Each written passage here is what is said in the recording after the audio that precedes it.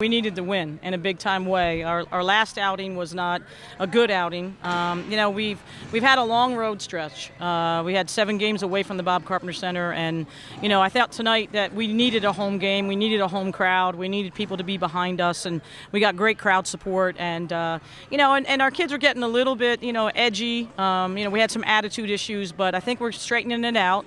And now um, we're back on the right page and played some good defense at times tonight and shared the basketball basketball, so it looked more like a Delaware basketball team, and so I was real happy about that. And now they get a break for the holidays, and they really get to go home to their families and enjoy Christmas, and then you know we'll get back here and get back to work on the 26th. I feel like we were on the road forever and we never played here, but I think it's great to play in front of your home crowd. We get a lot of energy, and it's just good to be back home and on our floor and get a win.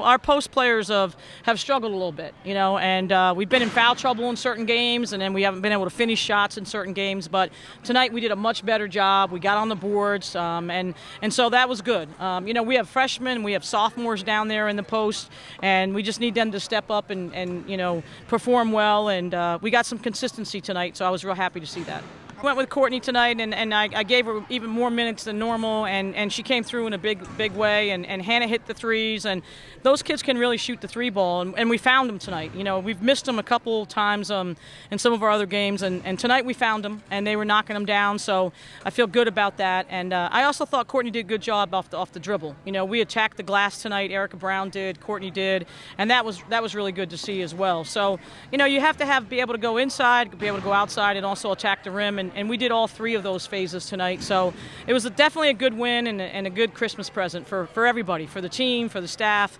Um, it's good to feel uh, have a W um, going into the Christmas break. I guess I didn't see help side, and they were they were scrambling to go play other people. So I just took it to the rim, and when they swiped to try to foul or try to block it, I just took it strong and was able to finish. I think that being away from home and playing as tough games as we played this year. I mean, we've we played some tough ones in, in Wisconsin and Georgetown, and we lost that triple overtime, double overtime game, I should say.